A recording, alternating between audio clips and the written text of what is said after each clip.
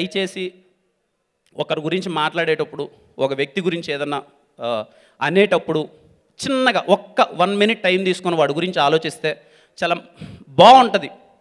మీకు ఫ్యామిలీస్ ఉన్నాయి మీరు కష్టపడి వచ్చారు మీరు ఇదే ఇండస్ట్రీలో ఎదగాలని వచ్చారు మీకు తెలుస్తుంది ఒక్కసారి కూర్చొని ఆలోచిస్తే ఏంట్రా వాడు అని చెప్పి. తమ్ముళ్ళు yes I made bad films నేను కొన్ని కొన్ని మంచి సినిమాలు తీయలేదు. It's part of my journey రేపు కూడా అన్ని నేను మంచి సినిమాలు తీయలేను. యాజ్ అన్ యాక్టర్ నా కష్టం నేను పడ్డం తప్ప అన్ని మంచి సినిమాలు అన్ని హిట్లు అవుతాయి అని అంటే ఏ యాక్టర్కి లేవు.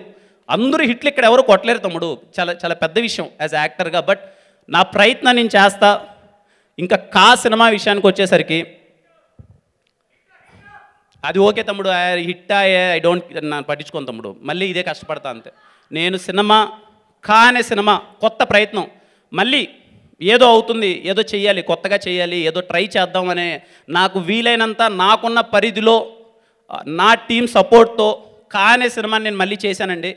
కానే సినిమా ఖచ్చితంగా చెప్తున్నాను మంచి ప్రయత్నం. నా సినిమా ఎప్పుడు నేను పొడి చేశాను దున్ అసలు గొప్పలు చెప్పను నేను. కా అనేది మంచి ప్రయత్నం.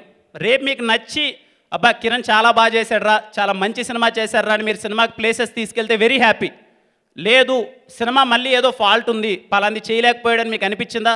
ఐ యాక్సెప్ట్ మళ్ళీ నేను బెటర్మెంట్ చేసుకొని మళ్ళీ ఇంకో సినిమాతో మీ ముందు వస్తా అంతేగాని అసలు కష్టపడే విషయంలో కానీ చేయాలనే ప్రయత్నంలో కానీ ఏ లోపం లేదండి. దయచేసి అందరూ అర్థం చేసుకోగలరు.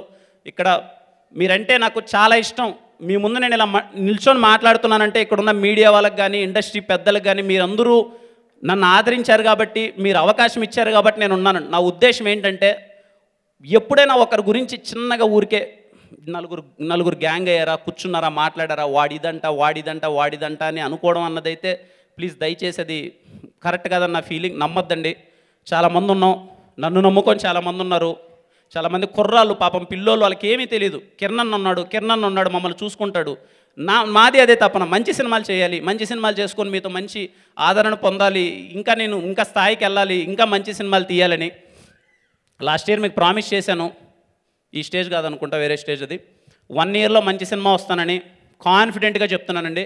వెళ్ళి థియేటర్లో థర్టీ ఫస్ట్ కూర్చోండి రేపే కూర్చోండి. మీకు ఆ ఫీలింగ్ రాకపోతే మీకు ఆ ఫీలింగ్ రాకపోతే అరే కిరణ్ అబ్బోరం మళ్ళీ సినిమా బాగాలేదురా ఇదనే ఫీలింగ్ మీకు వస్తే నేను మన చెప్పాను మూర్తి సార్తో చెప్పాను మూర్తి గారితో. సార్ ఇదే అని మళ్ళీ చెప్తున్నాను. మీకు రేపు కా సినిమా బ్యాడ్ ఫిలిం అని మీకు అనిపిస్తే చెప్తున్నాను ఈ స్టేజ్గా ఏ తమ్ముడు సినిమాలో వెళ్ళిపోతా ఇంటికి వెళ్ళిపోతా. ఐ బెట్ ఐ ప్రామిస్ కానే సినిమా మీకు బ్యాడ్ ఫీలింగ్ అనే ఫీలింగ్ ఎవరికి ఎంత నచ్చుతుందో నాకు తెలియదు ఏ సినిమా పరిధి ఎంతవరకు వెళ్తుంది ఎవరికి నచ్చుతుందో నాకు తెలియదు కానే సినిమా బ్యాడ్ ఫిలిం అయితే నేను సినిమాలు చేయను. నేను ఒ- ఒక్కసారి కాదు వంద సార్లు చెప్తా ఆ విషయంలో నేను కాన్ఫిడెంట్ ఎందుకంటే మా బెస్ట్ మేము పెట్టేశాం. ఏదో కొత్తగా చేయాలని మా బెస్ట్ మా టీం మా ఎఫర్ట్స్లో వన్ పర్సెంట్ లోపం లేదు. ఆ నమ్మకంతో చెప్తున్నాను. ఇప్పటికీ బయటకు వచ్చేటప్పుడు అందరికీ టెన్షన్. నాకు కానీ వంశీ గారికి కానీ అందరం కూర్చొని అరే పెద్ద సినిమాలు వస్తున్నాయి.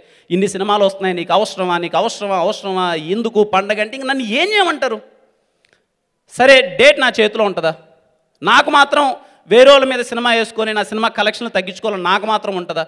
ఏదో పరిస్థితులు వచ్చాయి. ఇప్పుడు ఇదొక భయం. అరే సినిమా అయితే తీసేసాం అందరూ ఇంకా భయం స్టార్ట్ చేశారు. అరే ఏంటి? ఈ బ్యానర్లో సినిమా వస్తుంది. ఆ పెద్దోళ్ళు ఉన్నారు ఇది ఉన్నారు సారోళ్ళు దుల్కరన్న సినిమా శివకార్తికేయన్ అన్న సినిమా ఇన్ని జరుగుతున్నాయి.